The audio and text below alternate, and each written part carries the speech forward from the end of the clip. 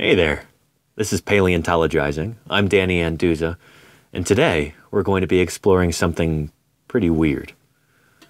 This is not what I had planned for this week, but sometimes the best laid plans are displaced by current events, and well, duty calls.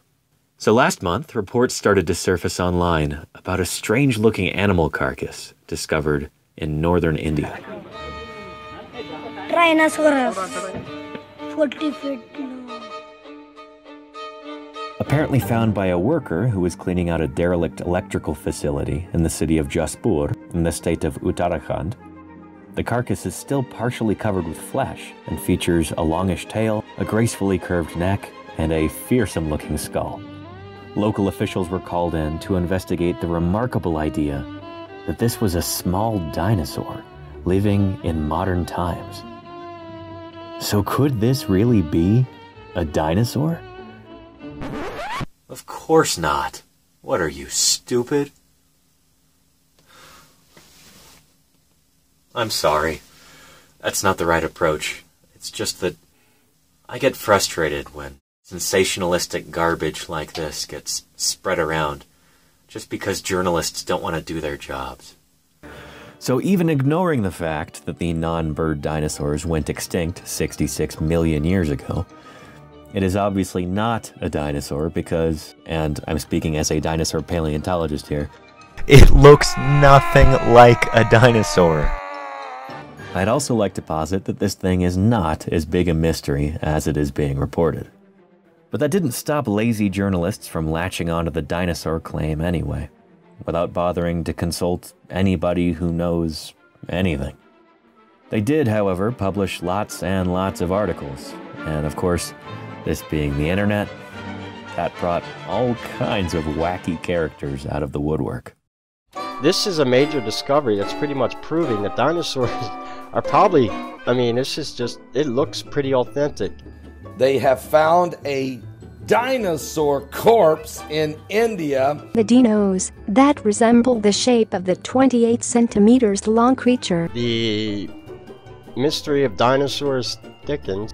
Um, what it is, more or less, is The Coelophysis we're not being told a real history of Earth here. in the Dromaeosaurus. Deinonychus creation, evolution, and um, the fact that the world is only 6,000 years old and man lived with dinosaurs. try to hide it up. When you have a dinosaur that is found in India with flesh still on its bones, And with the power of manipulation of the DNA, So there's definitely aspects of our history that the mainstream scientific people in charge don't want us to know. it tends to shake up the status quo, what they're teaching us. Yeah, they definitely want to keep hidden. And evolution is a false religion, pretty much manufactured by Satan, who just wants to distract people. what will they do with the dino DNA? What?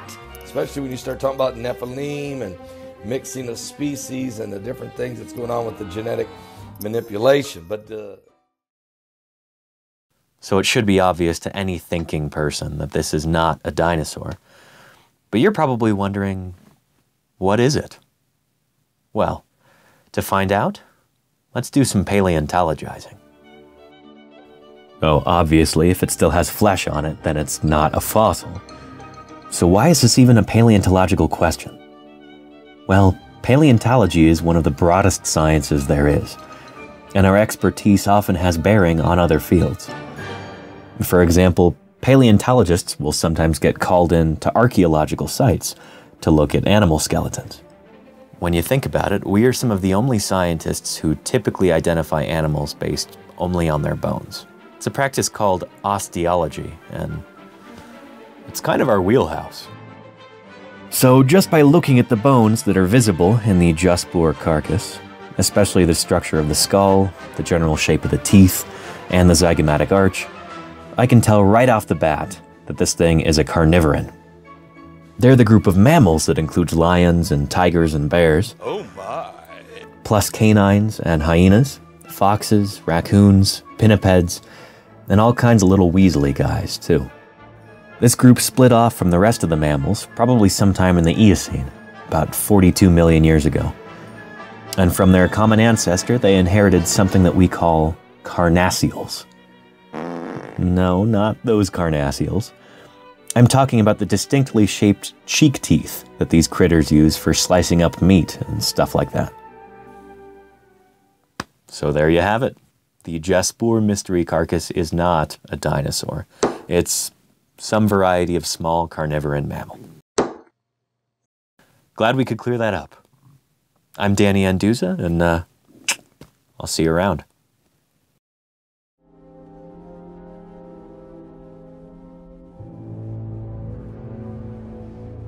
What's that? You're not satisfied with that conclusion? You expected more from me. All right. Well, challenge accepted. So obviously, this thing is some kind of carnivoran. I mean, that level of identification is child's play. But what if we could narrow it down all the way to the species level? Well, let's see if we can knock this one out of the park. When I first saw this, I thought, eh, it looks like a cat to me.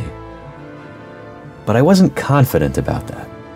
At least, not enough that I could really get cocky about it. You see, I am not a mammal paleontologist. I work mostly on dinosaurs, and so my knowledge of mammalian skeletal anatomy is not fantastic. So, of course, I reached out for help on Facebook and on Twitter from some of my paleo friends who know a lot more about mammalian osteology than I do. So, how do you go about clarifying an enigma like this one? Well, it's not really that difficult. First, we start with what we know. It's plain to see that this is not a fossil, so it has to be a modern taxon, and it's obviously some kind of carnivoran. We know where it was found, and so we can use that to narrow it down too. With a little help from my friends, I figured out that it's definitely not a cat, and it's not an otter. Again and again, there were two possibilities that my mammal expert friends kept returning to. Either it was a herpestid, which is a mongoose, or a mustelid, which is some kind of weaselly guy. Using range data, we can come up with our most likely candidates, and then parse it down from there. The dentary seems to be the wrong shape for the Indian gray mongoose, and the limbs appear to be too long for the small Asian mongoose. The apparent lack of a sagittal crest seems to be another giveaway. I could be wrong, but I don't think this thing is a mongoose. So then, by process of elimination, that leaves us with this little guy yellow throated marten, scientific binomial Martes flavigula.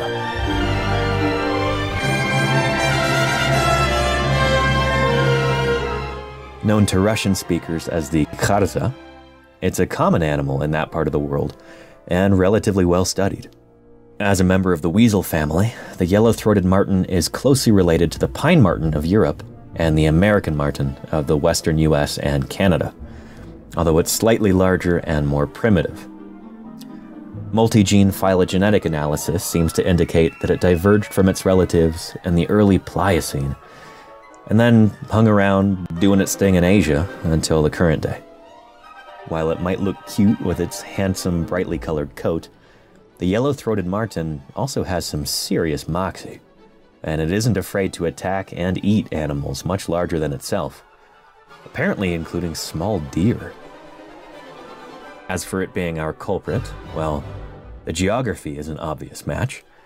As for its anatomy, the length of its neck, its posture, the structure of its sacrum, its lack of a prominent sagittal crest, and the general morphology of its skull all seem to line up beautifully with our mystery remains. And bingo, it's a match. About as perfect as we could hope for with the available evidence. Location, abundance, size, morphology of the skull, it's all there. Now, of course, I can't be 100% certain that I'm right about this ID, but at least now we have a falsifiable hypothesis. And if the people in possession of this carcass actually want to test this hypothesis, it should be pretty straightforward. As long as the thing is male, then all you gotta do is open it up and examine its baculum. The yellow throated marten has a very distinct one, different from all its relatives, so in terms of identification, that should be your silver bullet. Oh, and by the way, if you don't already know what a baculum is, then I strongly suggest that you look it up. It's a fun little piece of trivia to share with your friends and family.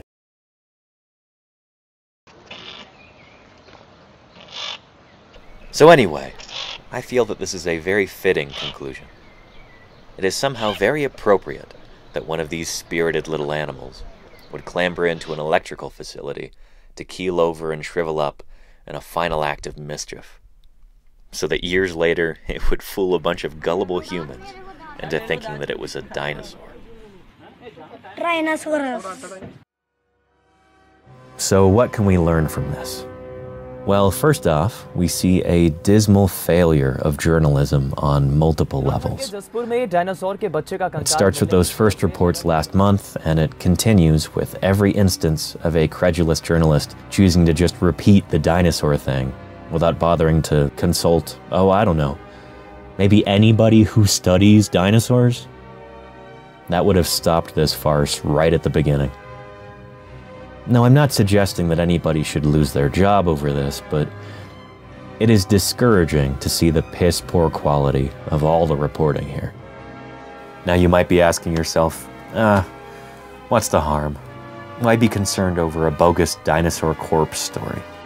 But I think you already know the answer. This kind of nonsense makes people stupider. And in this day and age, I don't think we need any more of that. So, to try and end on an optimistic note, let's focus on what you and I can do to try and improve things. Well, for one, if you see more examples of the Jaspur dinosaur corpse popping up on the news, then you can share this video in the comment section. It might not be much, but at the end of the day, it's better than nothing. Sometimes that's all you can really ask for. Anyway. Until next time, I'm Danny Anduza. Keep on paleontologizing.